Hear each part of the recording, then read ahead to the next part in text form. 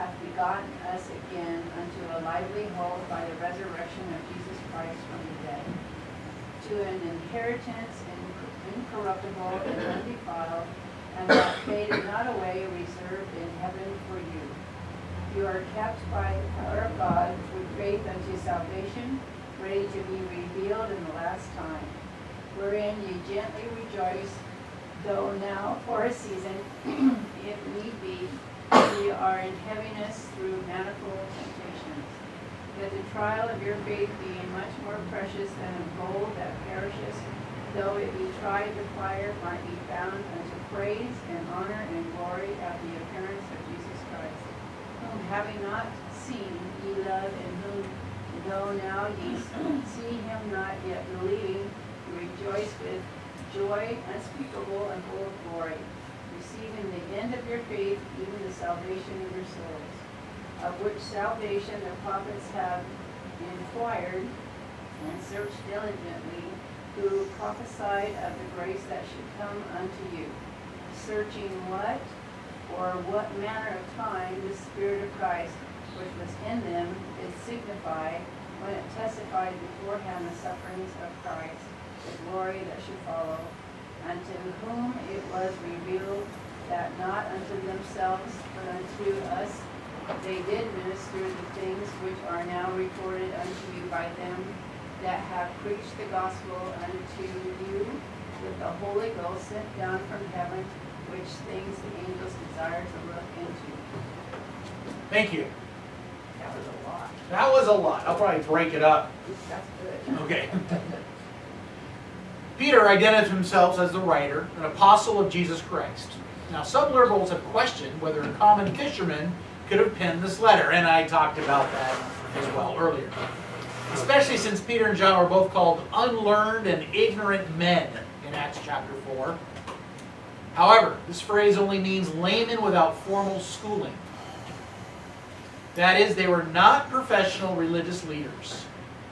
We must never underestimate the training Peter had for three years with the Lord Jesus, nor should we minimize the work of the Holy Spirit in his life. Peter is a perfect illustration of the truth expressed in 1 Corinthians chapter 1, verse 26 through 31. Who'd like to read that? Yeah, well, Okay, thank you, Dad. let me get to it real quick. 1 Corinthians 1, 26 through 31.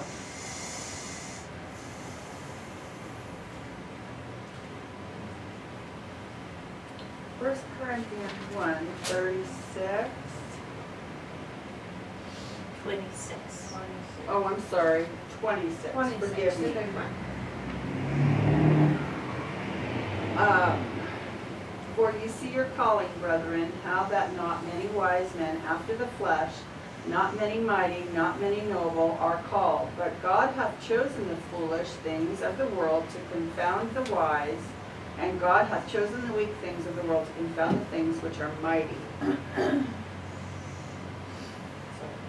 And base things of the world, and things which are despised, hath God chosen, yea, and things which are not, to bring to naught things that are, that no flesh should glory in his presence. But of him ye are in Christ Jesus, who of God is made unto us wisdom and righteousness and sanctification and redemption, that according as it is written, He that glorieth, let him glory in the Lord. Thank you. Peter is a perfect illustration of the truth expressed in there. So in other words, if you're going to glory, do it for God. And in the scripture, uh, in the, in the, in the gospel accounts, we see Peter, for the most part, he was one of those guys that had foot-shaped mouth. Mm-hmm. He would get himself in trouble all the time just by what he would say. And a lot of it was just his impulsive nature. Yes, Vic? Oh, I thought you were talking about me. I'm sorry. Oh, with the foot-shaped mouth thing? yeah. No, I was talking about me. And, No, oh, honey, you're confused. Yours is boot shaped. yeah. Oh, So yeah, so Peter, I mean, we find him in the in the in the in the gospel accounts as being one of those guys. He was just right there, ready to go, kind of. I like the quality that's in you. So, Thank you. uh, Yes, yes. Professor It's kind of like Maureen on the spot. Yeah, go, go, you know. He, he was one of those, and that's why I like the book of Mark.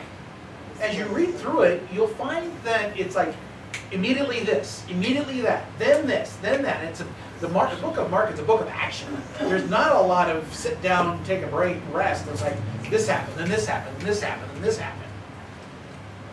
And it, that's why it's only short, 14 chapters. Because, yes, I've heard people say that Peter had he probably did. PhD. He sounds like him. Yeah, he's like boom, boom, boom, boom. He was, he was a man of action. Therefore, prepare your minds for action, he says later in the epistle. Get ready, because it's coming. You know, he was one of those guys that was like, okay, fish are coming, so I got to get out there.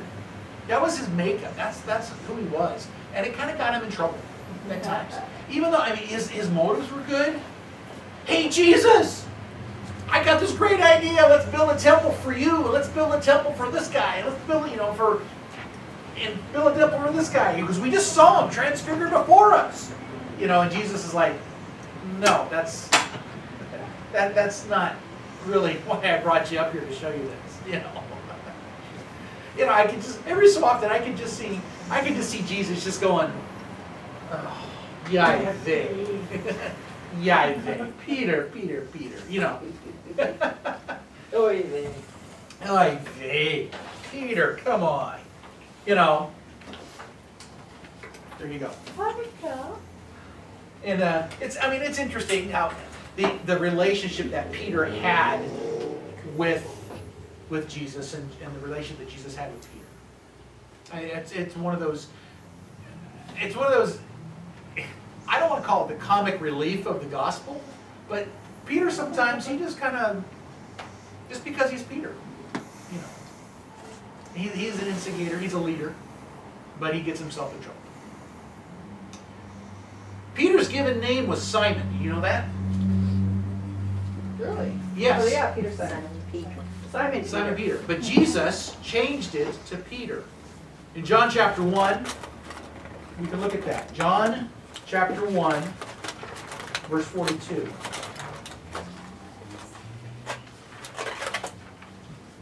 Actually, let's jump up to verse 40. John chapter 1, verse 40. And I'll read that out of the NIV. It says, Andrew, Simon Peter's brother, was one of the two who heard that John had said what John had said and who had followed Jesus. The first thing Andrew did was to find his brother Simon and tell him. So, brother Andrew is out there, runs into John. John says, Repent because the kingdom of heaven is at hand. And here comes your Messiah right here, by the way, who's also saying, Repent because the kingdom of heaven is at hand.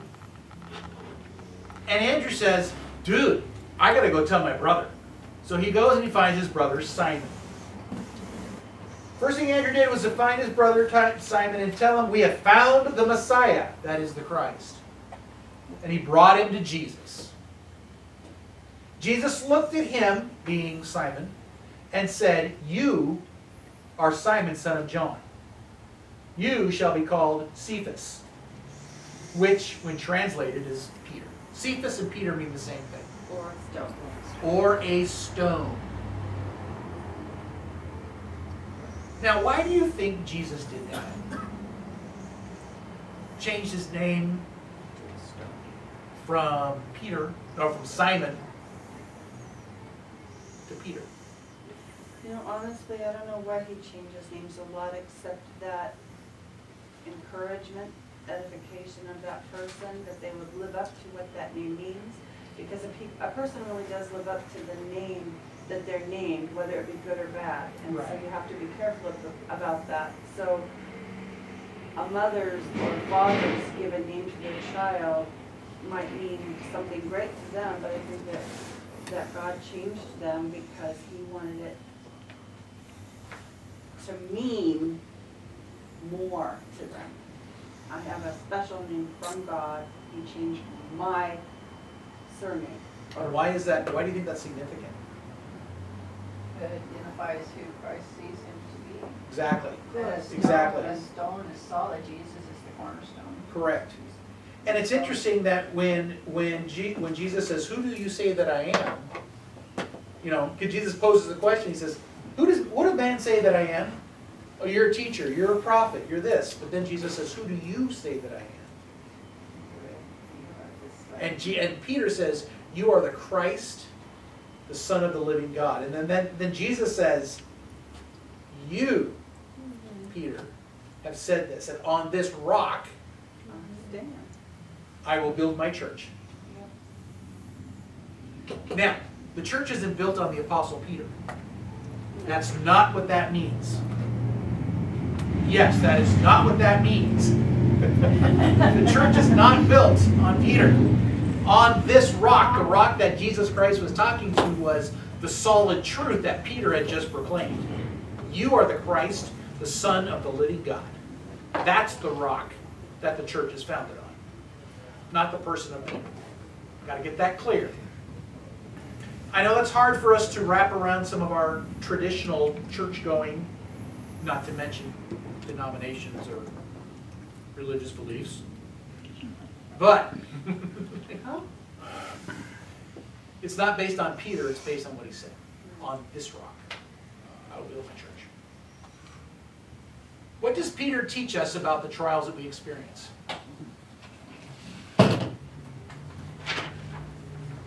It's a question that's not in your notes. This is, this is the interactive part. Say the question again? What is, what does Peter teach about the trials that we experience? Good for ya. Yes, they're good for you. They're precious, my precious.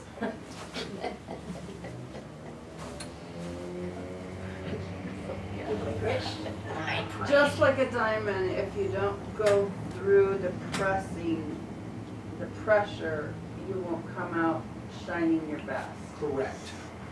Correct. And then how does Peter say we should respond to trials? Resist and stand firm.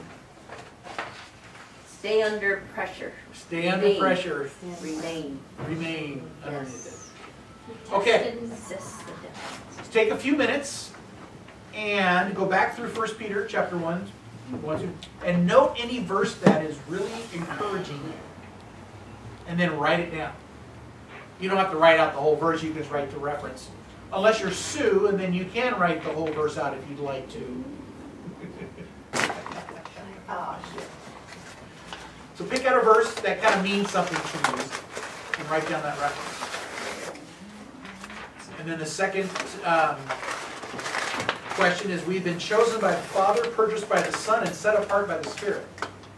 In your own words, what does each of these statements about the three members of the Trinity mean? Okay? Take a few minutes and fill that out.